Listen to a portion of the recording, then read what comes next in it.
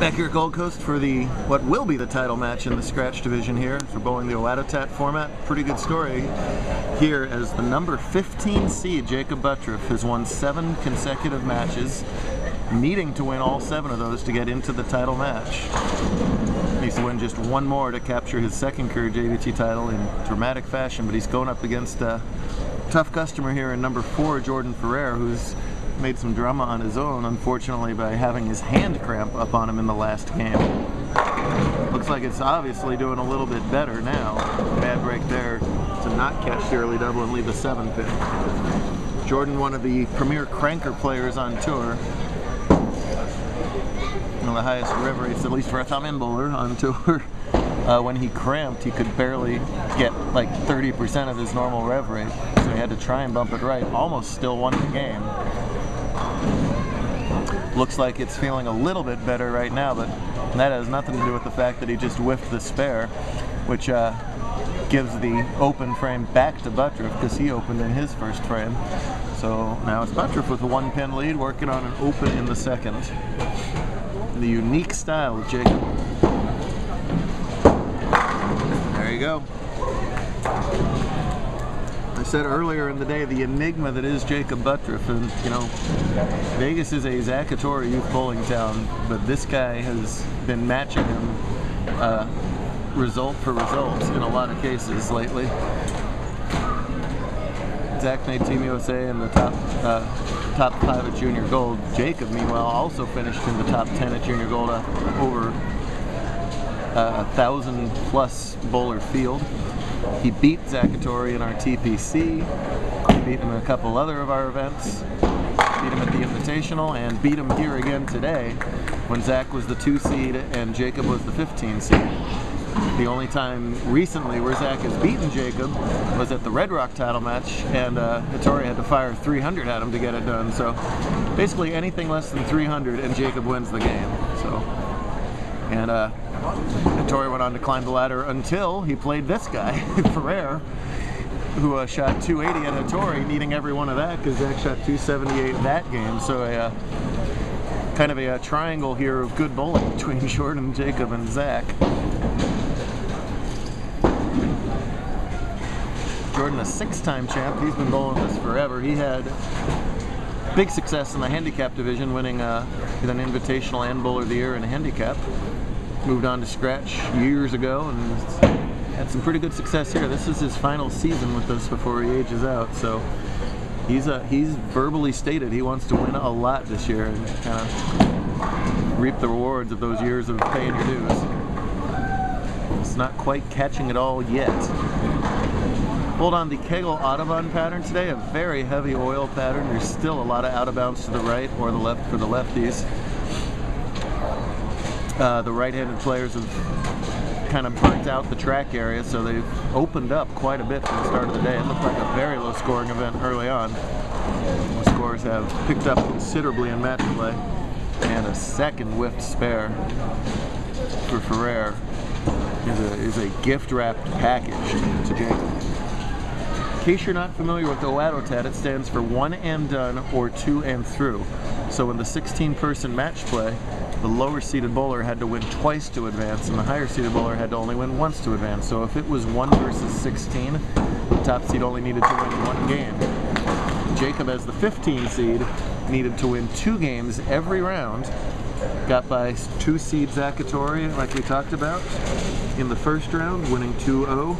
Got by seven seed Cortez Shank in the semis, winning 2-0 and got by six seed Cameron Smith in the next round, winning 2-0. Beat Jordan in game one here, 188 to 145. Yeah, an anomalously low game. And there gets the seven pin to carry out for a four bagger.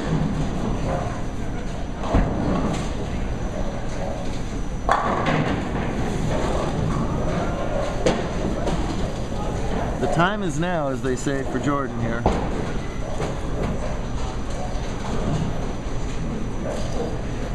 Tried to bump it right, and there we go. He tried to bump it right because he just had so little hand on the ball.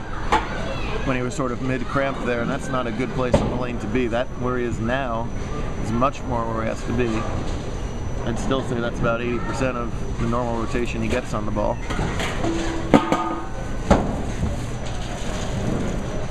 They got a lot of great sponsors on tour. These guys are one of them. Just happen to be bowling under one of their big banners here, K&K Bowling. They, uh, K&K Embroidery makes all of our great shirts.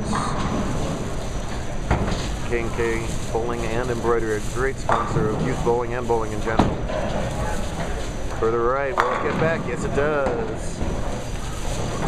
Boy, Jordan just saying, is it going to hit that hook spot or is it just going to wiggle at the hook spot? Fortunately for him, it hit it. I think one of the reasons that Jakob is still underrated on tour is this very unique delivery. His thumb is in the ball, but it's like he delivers it thumbless. He's got an incredible ability to cup his wrist.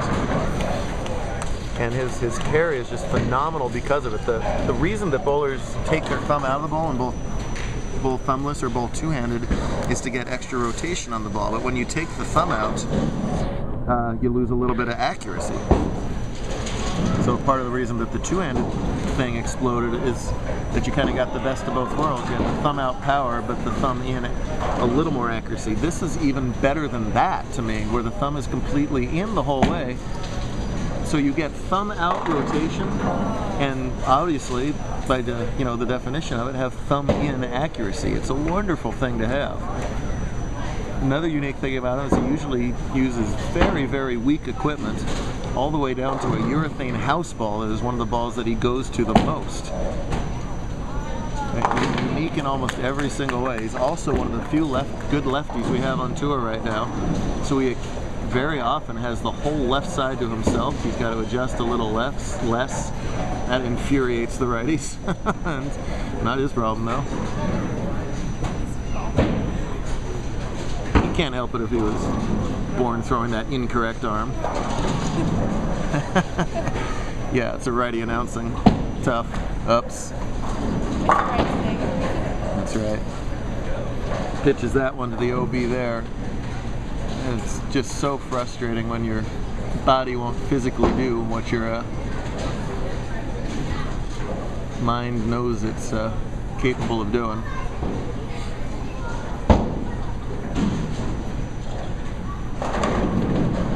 Busy time of year starting here. We're going to be in Vegas a lot over the next month and a half. So we've got doubles coming up in December, and then the main event week. Wrap that up in Kingman. Then we're right back here the third week of January to continue with the regular season. So let's see, 17, 18. 3, 4, 5, 6, 7, 8. At least 11 days there'll be a tournament between now and early January here in Vegas. So check out that schedule, get those reservations in, do not miss it. What Jordan needs to not miss right now is his mark. He's got to catch up immediately. He kept hitting the out of bounds, so we tried to uh, give that ball just a little bit of help here, and it doesn't need the help, and it checked up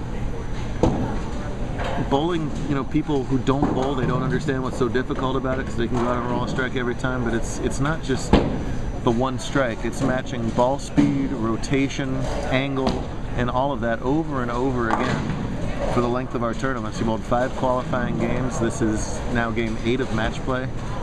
13 games times 10 frames times two balls per frame, trying to repeat what you're doing and adjust to the changing conditions too. It's it shows you when someone like Ferrer does struggle just how a how good they are, all of these scratch bowlers, and b how quickly and how subtle a difference can take you from a 240 down to a much much lower score.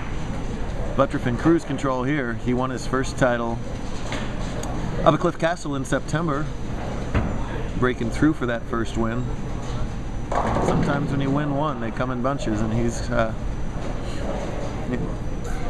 well on his way to number two here. Just kind of got to stay behind the line.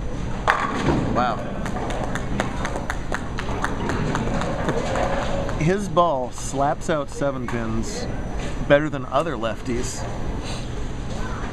You know, sometimes you see those those lefties just going up the left-hand corner and carrying sevens, and it, it can be frustrating. But you know, he's a he's covering a lot of boards, and b he just it's the way that ball. It's just the perfect angle through the one two. I don't know how else to describe it.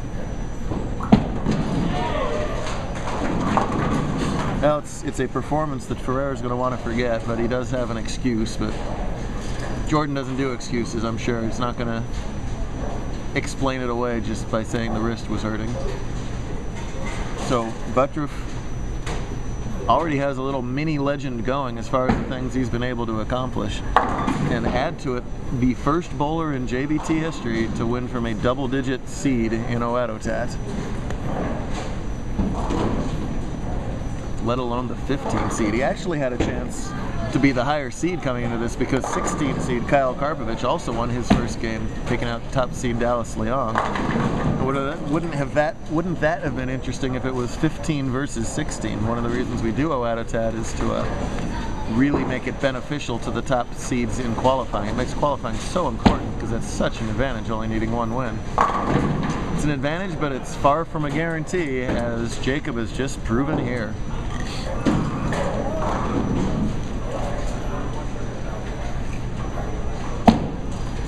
Really? At, at what point is, is Jakob no longer the dark horse? All he did to win today is get by Ferrer, Smith, Schenk, and Hatorek. Are you kidding me? That is a murderer's row of bowlers right there. And he mowed them down 8 and 0. If only his parents and guardians were not Cowboys fans he would he would just be that much better a human being. But unfortunately, he's, he's a Vikings fan. Unfortunately, he's not being raised right. Vikings fan, that's a little better than that at least. Team stinks, but at least it's better. There, there we go. Well, I'm a Tampa fan, so I'm in the same boat. It's all right. Not that pleasant, but Jakob, but dominates the field for the win. Great stuff. Pulling out the awards, and we'll do it all again next weekend at Mesa, Arizona for Best in the West.